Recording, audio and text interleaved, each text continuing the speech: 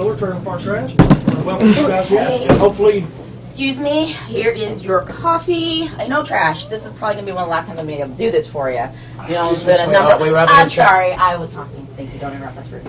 Um, yeah, I'm number one contender now that I beat Heidi Lovelace at the last Saturday Night Special. So once I'm the women's champion again for the eighth time, I'm not gonna have time to do these errands. I've been meaning to, I've Ah, been meaning to yeah, talk to you you about being that's the number one contender. I'm just gonna be too busy. I've been meaning I'm to talk to you about your title shot. Autograph signing, celebrity That's right. I've got to endorsement. tell You you know, something let's about I am the number one contender. I beat Heidi Oh, sweetheart, I'm sorry, your math is off. One plus one is not, no. There can only be one number one contender. Thank Well, you. yeah, that's me. I beat Heidi Lovelace. I, First. I've been trying to Um, tell I you didn't something. see you in that match. That's why I Hold went on. on number one. Hold on! Man, Jesus. this is why I'm not married.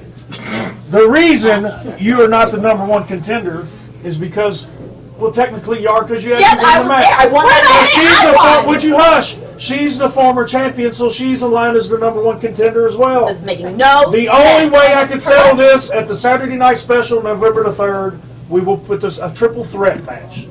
You two guys against our champion Heidi Lovelace, and whoever the winner is becomes the ladies champion. Well, yeah, I already beat her. It should be one on one. I beat her. I beat her fair and square. Okay, I look, didn't even cheat. look, Come on. learn to work together because here in just a minute, you two've got a you've got a tag match scheduled tonight against two Well, against two young ladies. I was not. Two young ladies that's more than glad to come and wrestle you tonight. So learn to work how to work together. But Work you know. I, I'll tell you what. If one of you two get the pin tonight, you will become the exclusive number one contender for the ladies title. Don't worry about it.